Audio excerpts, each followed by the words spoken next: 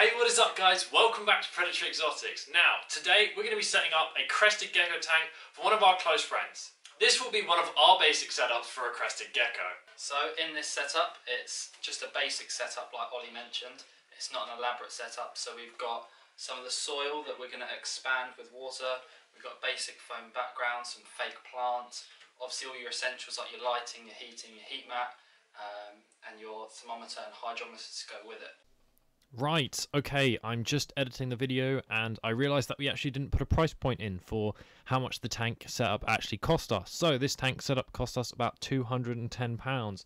Now, of course, that was using some spare parts that we had and getting the tank off of Facebook Marketplace, where of course it is a lot cheaper. But anyway, with that, let's get back to the video. Now, the first step is, of course, putting in the soil. This can take up to 30 minutes. Now, we haven't actually used this soil before, First time. so we're going to see if that's actually true. It may take longer, it may take less, but we're going to head into that now. Uh, so we've got our two litres of water, we've got our bucket and our coco bricks. So it actually says to use three litres of water per coco brick. Um, but we're going to start off with two because you can always add more water but you can't take more water out. So this is basically a compressed brick. So it's all coconut fibre and stuff like that. So we're going to put it in here. And the instruction set takes about 30 minutes, um, but we're going to add this and see how long it takes.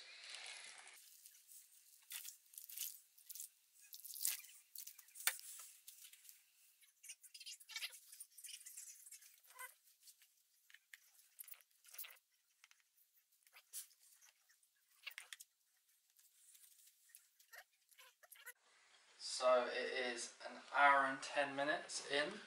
Um, it says 30 minutes and you can stir it and it's ready to go. Obviously, we've had a few more difficulties, so you can see how much water. We've added another 500 millilitres, so we're up to two and a half litres out of the recommended three litres. Um, we're still waiting for this to absorb, but it does take a lot of breaking up. You can see here these chunks are, they're quite solid and the middle is quite dry. Uh, so we- we've just been trying to break up as much as possible and then soak it in that water. But it's taking a lot longer. As I said, it's 30 minutes, but we're at an hour and 10 at the moment.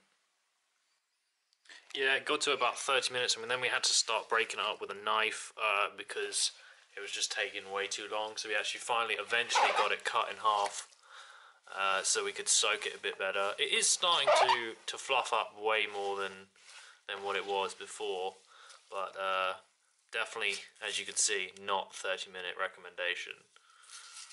Alright, so we've waited about an hour and 45 minutes now for this soil, and it's getting to the point finally of where it's going to be usable.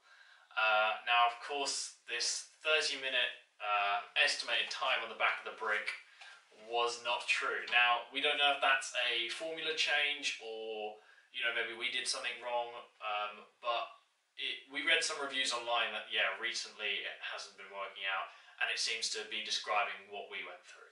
Yeah, it's just, it's just quite fibrous. So we tried breaking it up, and there's a lot of fibre which which fluffs it up quite well, um, but it's not absorbing that water as quick. We as we broke it up, it's absorbing, but it's just not absorbing as quick as we would like. So what we're going to do is we're also going to do another brick overnight, add that to the tank later on, but for now we're going to use this one as kind of like a base layer so we can do the setup. Yes, hello, it's me again. Uh, so we actually did get more results with the second brick that we used later that night. Tom actually put in warm water this time, and it sped it up dramatically. Uh, just for you guys and future use of this product, yeah, we do recommend that you use warmer water instead of saving you that long two-hour wait that we did. All right, back to the video. But before we put that in, we have got to put in the background. So the background, if you buy the Exoterra new, it does come with the background. Um, you can buy the replacements. So we bought this. Uh, it's the 45 by 45 background. And it's a foam background or styrofoam background.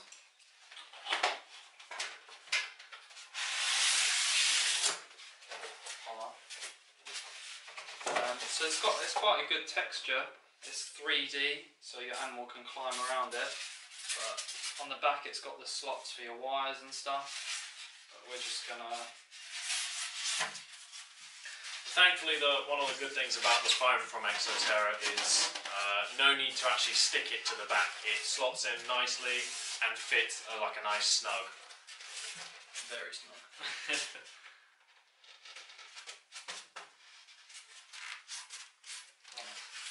So when putting in the background, as you can see, it does take a bit of pressure, but you want to do more of like a wiggling technique because uh, I've seen a lot of pictures online of where people have obviously pushed too hard and snapped the foam background. Of course, it is foam; it will snap quite easily.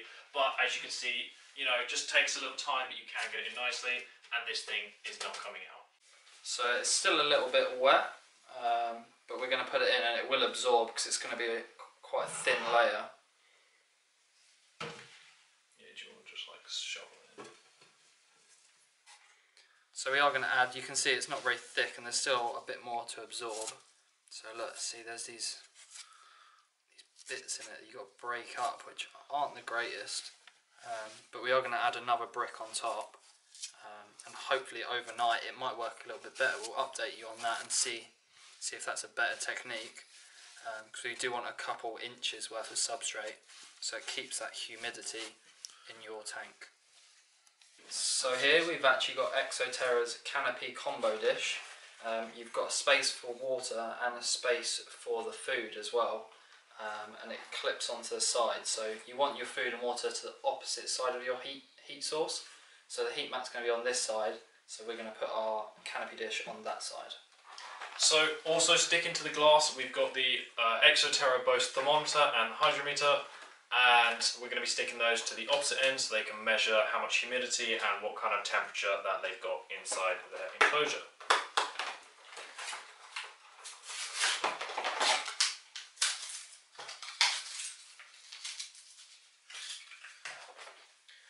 Making sure that it's nice and level.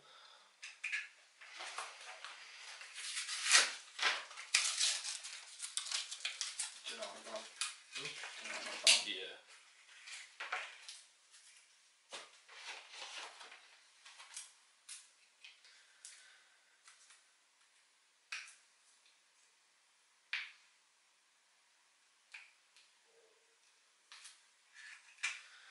And then just placing the thermometer above that as well.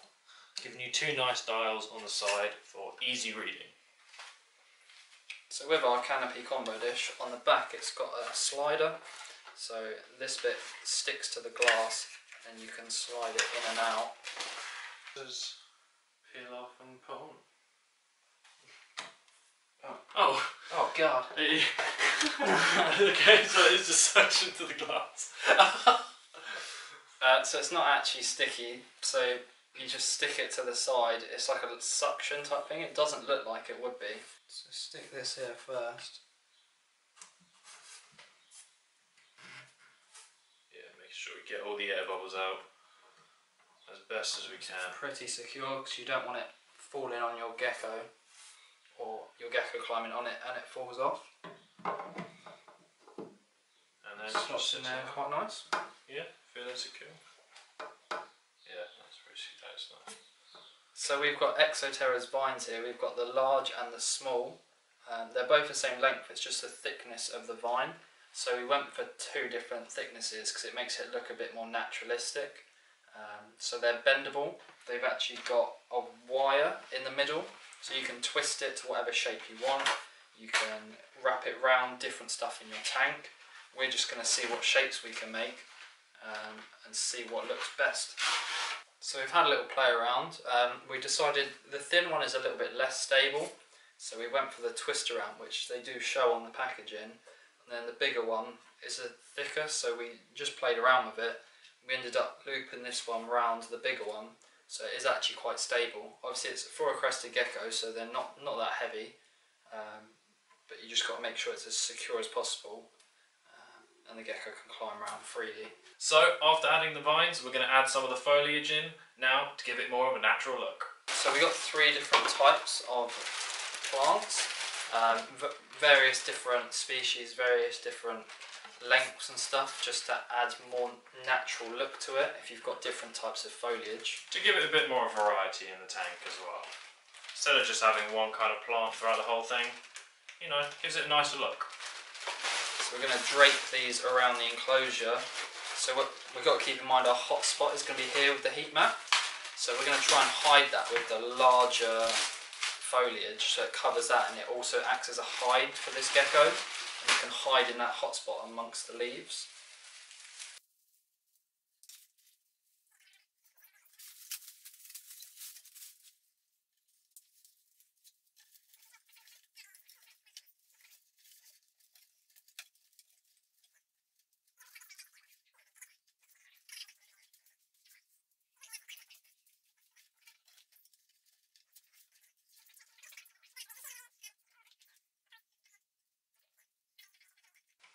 So this is the kind of foliage setup that we're going to go with.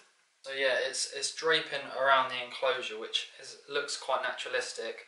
Then we've kept in mind our heat mat's going to go on the side, so the gecko can climb in amongst these leaves and feel secure when it's warming up. And then also on this cooler side, the gecko can come in and hide amongst these leaves at the back here. We've also draped this one in the middle. Um, once you put the, the foliage amongst these vines, it looks a lot more naturalistic. So we're going to go ahead, even though it's got this small water bowl, we're also going to provide a larger water bowl that we're going to put down the front here. So if it chooses to drink from the ground or up by its food bowl, it's got an option either way.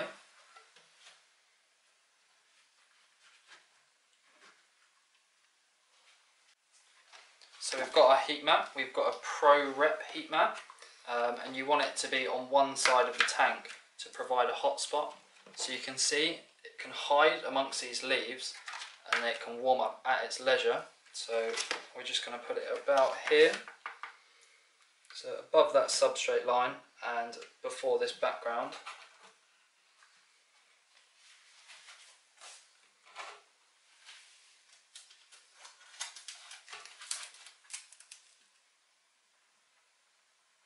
So this of course is a non-adhesive one, uh, non-self-adhesive, so we're going to be using some tape just to hold it down. So you can use sellotape, just don't go over the actual heating element uh, unless you want to use electrical tape to be safe. But this has per perfectly fine in a lot of other enclosures we've done. So we're now going to attach the thermostat to this because um, you do want to monitor the temperature.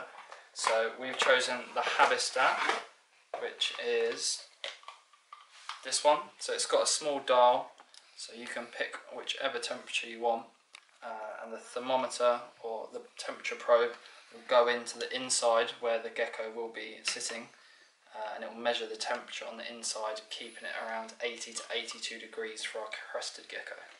So we're putting our temperature probe onto the heat mat so if you want to run the temperature probe on the top you do have to cut just a slightly small notch out of your background but then it will sit in perfectly.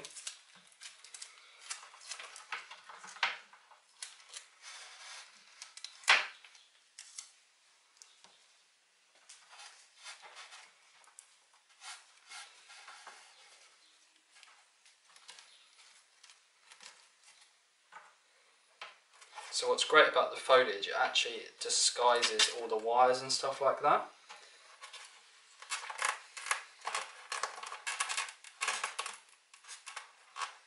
So you simply just put it through where the wire holes go, and then your mesh will clip on the top, and you can slide the sliders at the back, and it actually will cover up all the other holes, so you've just got the one wire hole that you need being exposed. So for lighting, crested geckos don't necessarily need UV, but we believe it will actually improve the health of your gecko and bring out some of the colours. Um, so we've chosen to use Arcadia, which personally I think is the best brand of lighting you can get. And it's a Pro T5, which is a lot better than the T8s um, and a lot better than the compact bulbs you get. We've never actually used this, but all the Arcadia products I've used in the past are amazing. I think we have Arcadia lighting all of our tanks right now. Yeah. Um, all the ones that actually do require UVB. Now, of course, this is a 7% UVB for our crested gecko. So it's a 12 inch uh, bulb, so it comes with the reflector. and you get the T5 bulb. The T5s are slightly thinner than the T8s, but they are actually a higher output bulb.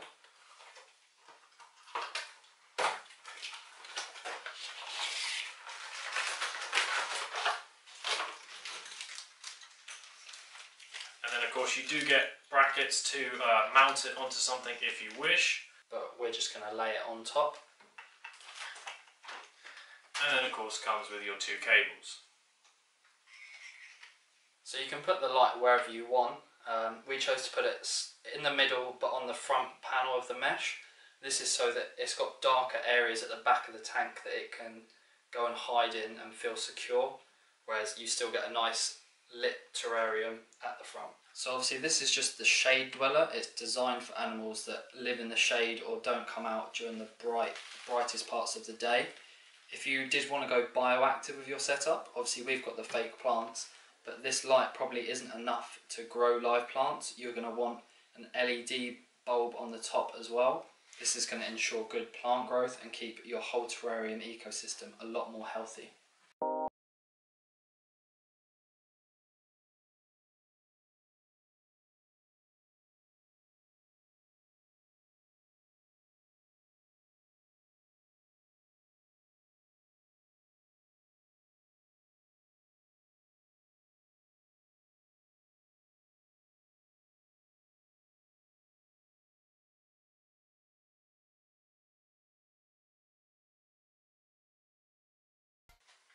So in the end, we're very happy with how the actual end result came out. So just bear in mind, obviously it's quite a thin layer of substrate at the moment. It's, it's not a digging species, but it's to maintain that humidity within the tank. So we're going to try soaking one of these extra bricks overnight, see how that fluffs up. There's, this has still got a little bit more to absorb, but we're just going to add a thicker layer at the bottom of our tank. So we hope you guys have enjoyed our kind of budget setup for the crested gecko. Uh, yeah, I mean, I, I'm really happy with how this has come out. I think it looks really nice, uh, and the friends that we're going to be giving this to are going to be very happy with it. Hope you enjoyed this video. Give it a like, comment and subscribe to our channel. Yeah, leave us a comment for anything you guys have in your crested gecko tank that maybe we didn't feature today. But we hope you guys have enjoyed, and we'll see you guys next Friday.